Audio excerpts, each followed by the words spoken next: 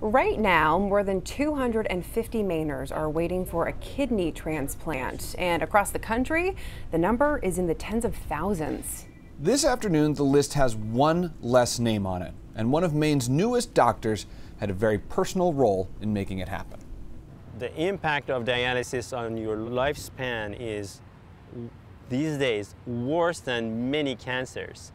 Dialysis is one topic Dr. Aji Djamali knows a lot about.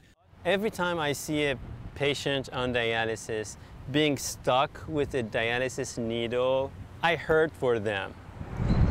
He was the senior kidney specialist at University of Wisconsin Health.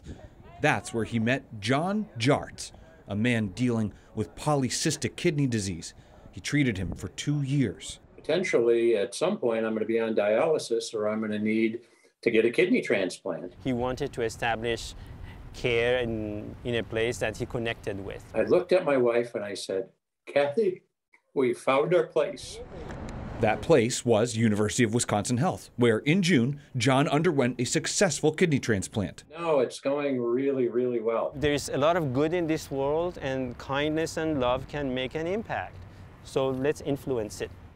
Dr. Djamali knows the emotions of giving the gift of life. I was inspired by donors that I evaluated on a routine basis. I've been thinking about this and I really want to walk the walk and, and see if I can make a difference. But his wife wanted him to wait to donate until their boys were grown.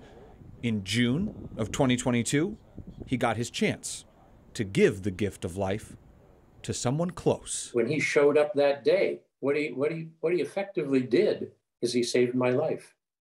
Their blood types, both the rare type B, were a near perfect match. Part of him is in me. So to me, I look at him like my brother. I, would never forget that. We hugged and, you know, we looked at how much urine he was making compared to how much I had made. We were competing, you know, just seriously. And then his labs came back and his kidney function was better than mine. And then I was saying, what are you doing to me here? You know, so we are just teasing and it's just unreal and unreal. And tears were shed. It, I can't relive that. It was just unbelievable. Why were you crying? just it just comes out, you know, just happiness.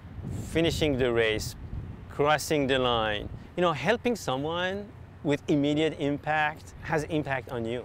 He's given me the gift of life. That's uh, the most important thing you can do. And I'll never forget it.